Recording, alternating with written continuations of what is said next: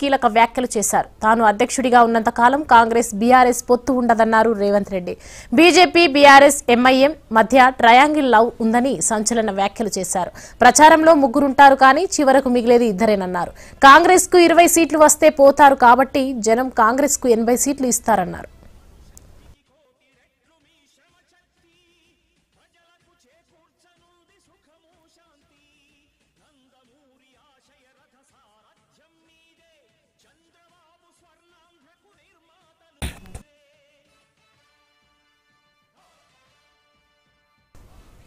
విజయవాడలో మైనింగ్